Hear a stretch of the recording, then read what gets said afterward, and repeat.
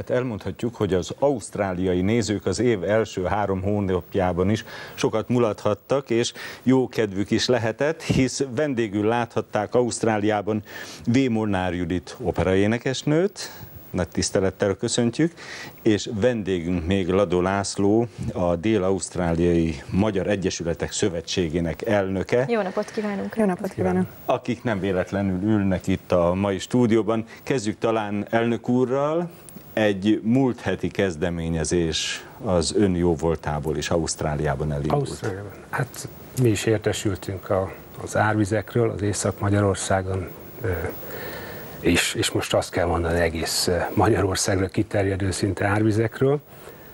Pénteken kaptam egy felhívást, és levelező listámra elküldtem sok embernek, hogy ha tudnak, akkor segítsenek bele a gyűjtési És közben akcióba. pont az ausztráliai adományokat láthatjuk a képernyő alján.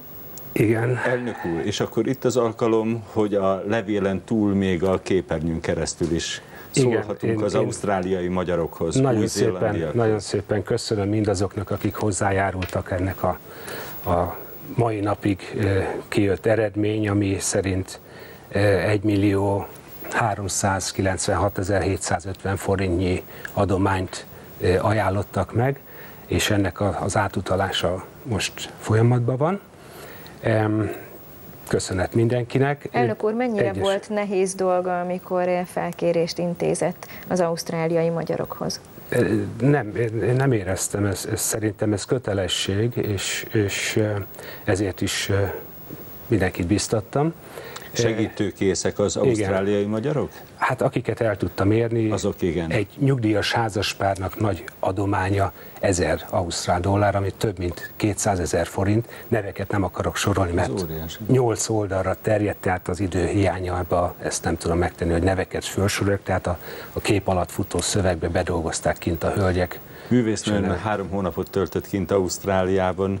Milyen benyomásokkal tért haza?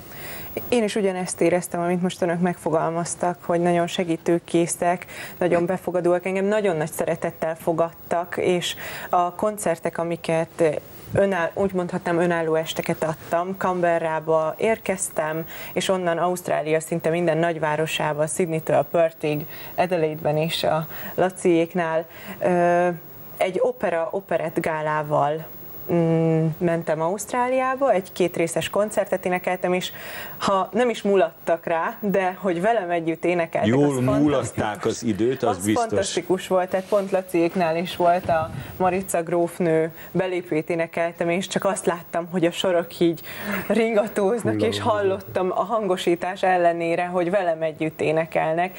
Szóval én, engem nagyon nagy szeretettel fogadtak, és, és vissza is várnak azóta is. Már lehet is tudni, hogy mikor lesz a következő Már szervezés alatt van egy szeptemberi koncert Perthben, ami Nyugat-Ausztrália, mondhatni egyetlen nagyvárosa, hiszen azt szokták mondani, hogy Perth az egy másik ország már Ausztráliában, ahol a Molnár György tiszteletbeli konzul, és ott volt természetesen a Perthi koncertemen, és annyira megtetszett neki, hogy egy ausztrál zongoraművésztel, aki Perthben a West Australian Symphony, szimfonikus zenekarnak az igazgatója, tehát egy komoly zongoraművészt, oda szerveznek a Government House-ba, a kormányzó házába egy nem? koncertet, ami már nem csak magyaroknak, hanem ausztráloknak is szól. És ott mi lesz a repertoár? Ott, ott is igyekszem egy kis magyart becsempészni, az egy kicsit nemzetközibb lesz, opera, Puccini, Verdi, Erkel és Lehárt szeretnék énekelni. Na de hát az operettből kijut majd Bádisl közönségének is. Igen, Mikor hiszen oda? Ö, nyáron Ausztriában, Bádisülben fogok énekelni, de előtte még van egy, egy kis itthoni kötelezettségem is, aminek mindig nagyon nagy szeretettel és örömmel teszek eleget, hiszen Miskolcon van az Opera Fesztivál, és én miskolci vagyok, és két előadáson is énekelek, egy operagálán és egy mese operának a főszerepét fogom énekelni.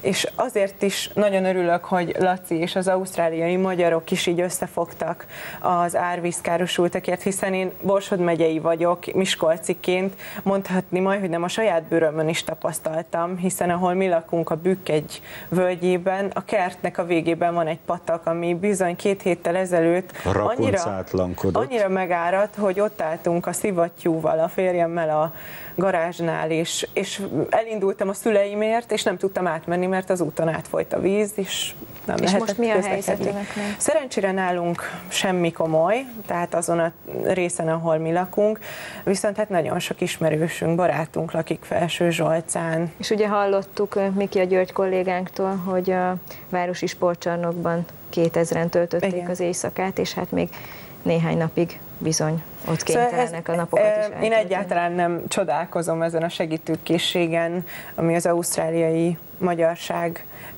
ból árad, hiszen én ugyanezt tapasztaltam, hogy összefognak, és én igaz csak egy zenei kapocsként voltam jelen Ausztráliában, de, de úgy éreztem, hogy ott egy olyan igazi magyar közösség van, hogy néha nem is tudtam, hogy tényleg ilyen messze vagyok Magyarországtól. A szép szülőhazámtól, ugye? Ezt a címet Igen. viseli az a DVD és CD album, ami a közelmúltban jelent meg. Mi minden hallható rajta? Igen, igyekeztem egy olyan összeállítást lemezre venni a Miskolci Szimfonikus Zenekarral, ami egy kicsit ö, átfogja Magyarország, a magyar zenei hagyományokat. Van rajta komoly és könnyedebb műfaj is. Kodály, Erkel, Lehár és egy Strauss opereddal van rajta. Sőt, népdal is van rajta, ugye? Népdalfeldolgozás, Kodály népdalfeldolgozások van. vannak ja, A Csitári, a Csitári hegyek van alatt, szó. Ezt most is meghallgatunk. Köszönjük szépen, hogy itt voltak velünk. Köszönjük szépen. szépen. Köszönjük.